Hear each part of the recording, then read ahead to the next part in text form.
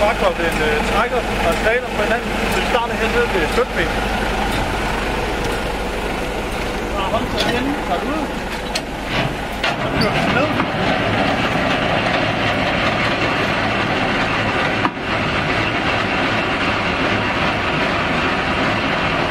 Så lige hvor jorden, ind på håndtaget. Så har vi en låsspil herinde og et håndtag. Så trækker vi snoren, og så tager vi den her ud i yderste position. Sådan der.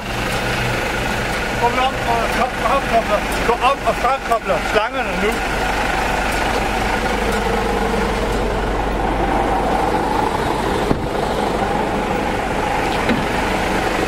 Der er vi håndtaget til begge luftslanger. Det tager vi op. og vi kan luft på.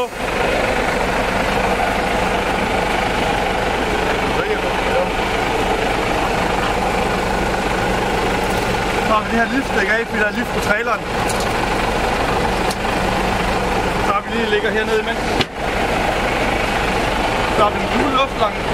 Der sætter vi også her. Så har vi de to stik til øh, lys.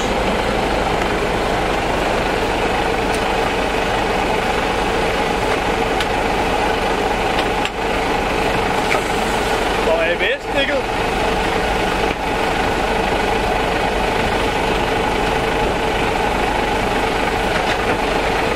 Og den anden luftlang. Og så tager vi